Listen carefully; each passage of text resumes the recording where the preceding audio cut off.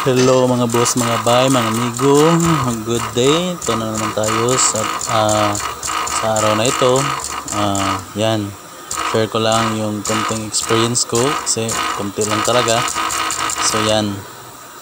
So, complaint nito ng customer ay maingay at saka low power. So, nauna namin gawin yung cleaning-cleaning sa IGR. kung Antique manifold. So, okay na siya. Hindi na siya nag-lolo power. So, dito na sa maingay. So, dyan banda mga bay, mga boss, yung maingay sa, ano, sa catalytic converter na yan. So, akala na, akala namin na sa loob ng, ano, sa loob ng catalytic converter, hindi pala. So, dyan. Yan mga boss, mga bay, mga boxer. Ah, dyan yan sa ano, coil cooler niya. May konting tagas. Sanay ko na rin yung pangilalim. Ang yan, Ito, sa loob may ano, yan, yan o, Problema. maingay mga boss, mga bay. maingay. Pag pinukpok or nakaandar yung sasakyan, maingay siya. Ay, Sakit sa tainga. So, kala namin dyan sa loob, so binuksan namin yung ano, outer ng catalytic converter papuntang exhaust pipe. Yan. na agad rin sa. So, hindi yan doon. So, yan, nakita namin yung bracket ng ah, catalytic converter. Putol na yan, oh. May crack na. So, maigi talaga mga boss, mga bay na ano, kapag may complain yung customer, bubusi, busisihin talaga ng maigi. Yan, oh.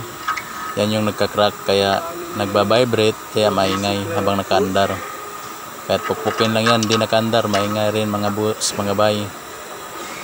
Okay, ato yung naugkuhan. So, Ah, BRP pati rahon sa tatay. yan.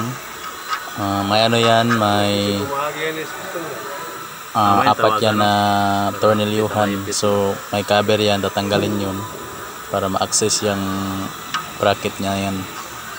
Yan yung dahilan sa ano, ah, complain ng customer na maingay. So, yan. Ah, the best way is to weld. So, bago pala mag, ano, mag-weld mga bay, mga boss, ah, i tanggalin, tanggalin yung ano, battery ah, para safety po. Ah, para hindi masira yung loob, yung ECU, yung mga sa loob. Positive at saka negative terminal ng battery, tanggalin na. So yan mga boss, mga bay. Mm. Ah, nagpa-quotation pala ang quotation pala nito kung papalitan ng buong ka- quality converter ay nasa 58,000. So mapa mapamahal ka talaga.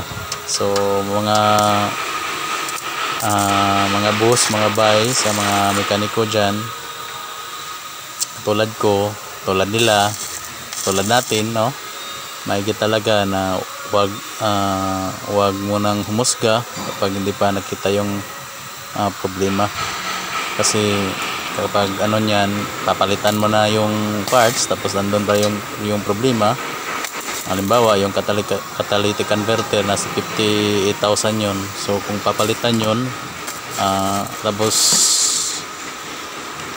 ah mawala talaga yung problema nun pero sobrang mahal talaga kasi yung andun yung bracket na nakalagay so maigi talaga bubusi, busisihin natin yung punot dulo bakit maingay makatulong ba tayo sa customer at the same time hindi rin masasakitan yung bulsa ng customer natin so yan na-weld na mga boss mga bay ayan So, yan mga boss. Uh, pupukin natin yan kung mayroon pa ba. So, yan. Wala na. So, doon lang talaga yung problema niya. Yung bracket na yun. So, yan. Panda rin natin.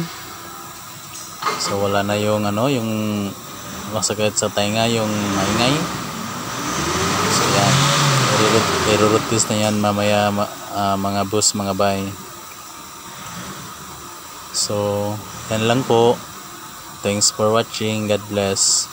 Um, mag-subscribe na po kayo sa YouTube channel natin. Okay na kayo. Ah, okay kung kayo. gustuhan nyo yung video, please Gagawas like and share Sounds. and also subscribe. Hit the no notification bell para lagi kayong updated sa mga video na i-upload ko. Thanks for watching. God bless. Ingat po kayong lahat dyan.